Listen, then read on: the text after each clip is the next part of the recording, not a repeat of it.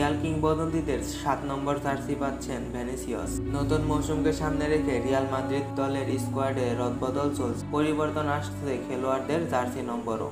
দু হাজার বিশ একুশ মৌসুম থেকে রিয়ালের বিশ নম্বর জার্সি পরে খেলছিলেন Brazilian footballer Vinicius Junior. Brazilian এই উইঙ্গার আগামী মৌসুমে গায়ে জড়াবেন রিয়ালের সাত নম্বর জার্সি। জার্সি নম্বরে পরিবর্তন এসেছে আরেক ব্রাজিলিয়ান তারকা রদ্রিগোর তিনি এখন থেকে গায়ে জড়াবেন এগারো নম্বর জার্সি। দু হাজার তেইশ চব্বিশ মৌসুমের জন্য জার্সি নম্বরের পরিবর্তন রিয়াল মাদ্রিদ তাদের নিজেদের ওয়েবসাইটে জানিয়ে দিয়েছে। সাত নম্বর জার্সিটি এতদিন ব্যবহার করতেন এদেন হ্যাজার ব্রাজিলিয়ান তারকা মৌসুম শেষে রিয়াল ছাড়বেন আগেই জানিয়েছিল রিয়াল।